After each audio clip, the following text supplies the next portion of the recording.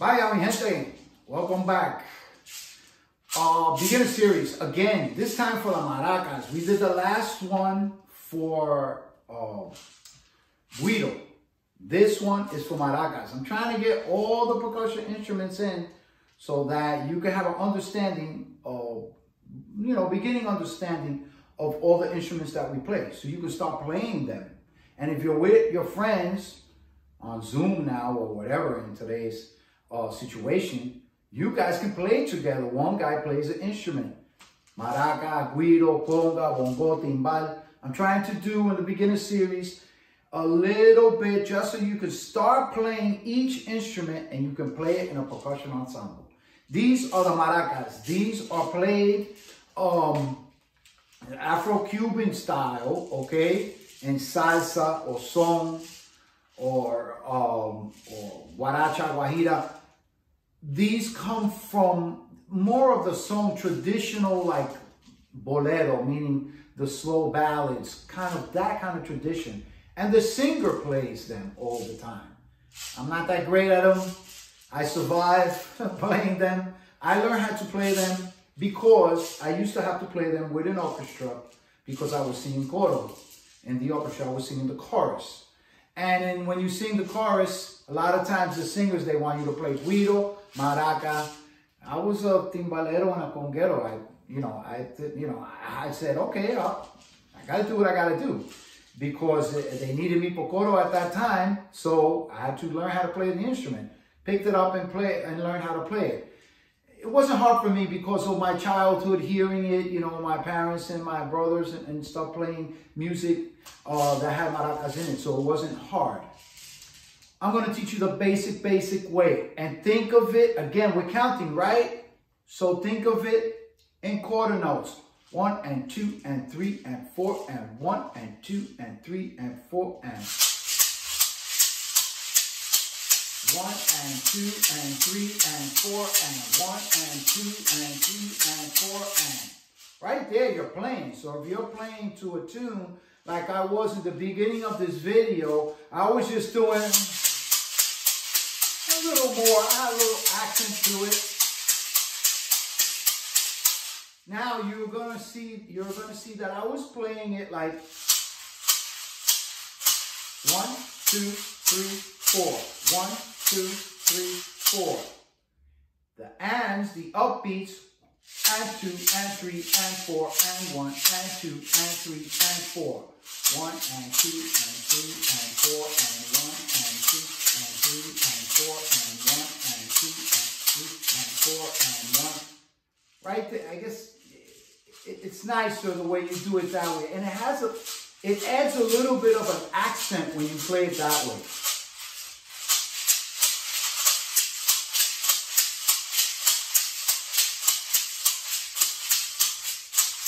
I'm crossing them, but some people don't do that. I can't even do it that way. Me, I'm used to crossing them.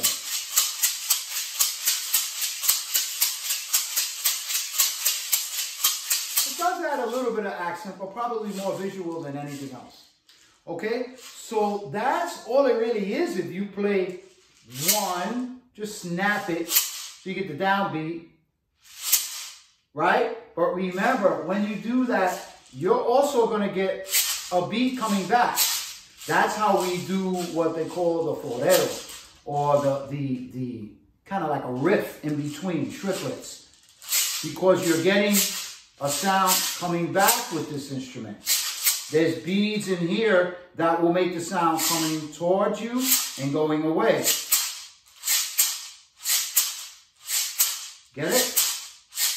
That's how we're going to do that little riff that you saw in the beginning of the video. A triplet feel, okay?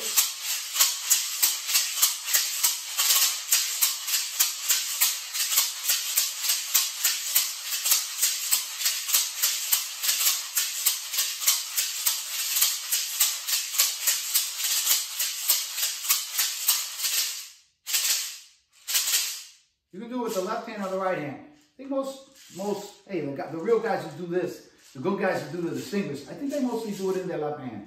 Me, I think I, I might have been doing it on my right hand in the beginning of the video.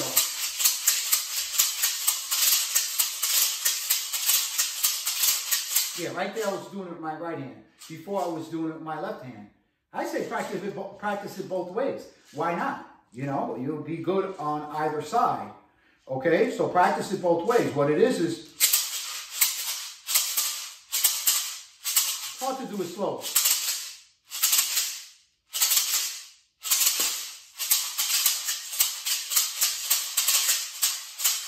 Ah.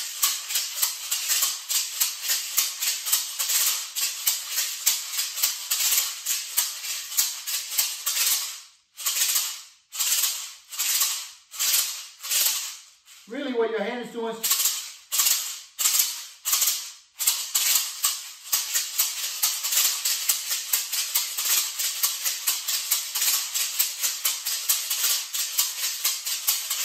But if you notice, I'm doing it in my right hand there.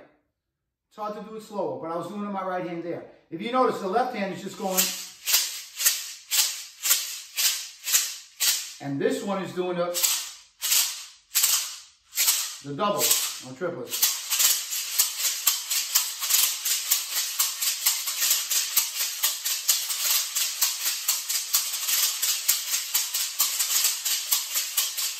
Now I'm just doing eight motions, two and three and four and one and two and three and four and one and two. That's it. Now you can get crazy, but this is a beginner video. You can get crazy and do some really, I've seen guys do amazing stuff with this instrument. When you think it's just a, a, a child's instrument that they give a baby a little maraca when they're, when they're a baby. But this is a professional instrument. These are actually uh, were made for me by a, a, a Colombian company. And they're beautiful, beautiful, handmade.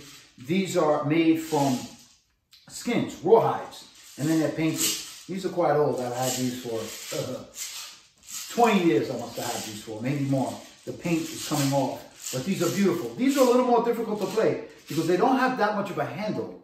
If you go and buy a rawhide pair or a plastic pair, the plastic pairs are, are great also. I would get them with the little longer of a handle because you have, now you have more room to move them around, to snap them.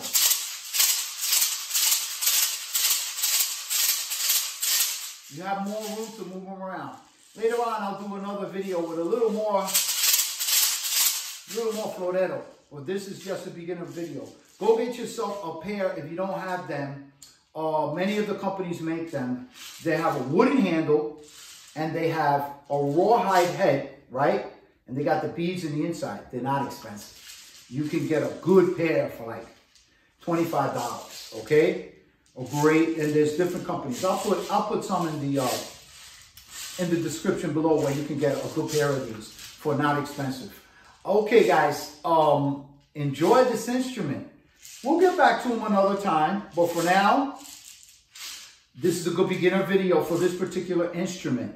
Play them with your records. Right now, play them with, put the old records on. Put the slower records on so you can learn. Play them with the records. Play them with the radio. And if you have some laying at home, now you can put these things to use that you never used them before. You have a little something to put them to use. Okay, guys, until the next video, be more beginner series, is beginner series, we'll be doing them. There will be enough beginner videos for you to play a little bit of timbales, a little bit of conga, bongo, maraca, guiro, enough so that you can get all those Latin percussion ensemble instruments in so that you can start playing with a group of your friends or play to records or what have you. Thank you very much. God bless you. Until the next video.